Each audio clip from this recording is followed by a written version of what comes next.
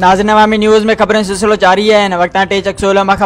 UC सोलह भरिसां ॾह चक जे ॻोठ दीन मोहम्मद अञण, पंहिंजी बिरादरी ते मुश्तमिल तक़रीबन चालीह घरनि पंहिंजी सरपरस्तनि। दीन मोहम्मद अञण बदरुद्दीन अञण सदरुद्दीन सां गॾु ॻोठ दीन अञण जे समूरे अञण बिरादरी परवेज़ अहमद डायरी जी सरपरस्ती में फ़ंक्शन लीग खे अलविदा चई ऐं पी पी में शमूलियत जो ऐलान करे छॾियो। उन मौक़े ते ॻोठ दीन मोहम्मद अञण पारां ज़िले सदर अली अकबर, जमाली तालका सदर अब्दुल रसूल बिरोई ऐं पी पी अॻवान परवेज़ अहमद डायरी जे मान में आजाणो रखियो वियो। जेको रैली जी सूरत में पूरी वफ़द सां गॾु ॻोठ दीनो में पहुता जिते सिंध जी रवायत मूजिबि अजरक ऐं गुलनि वर्खा करे भरपूर इस्तेमाल कयो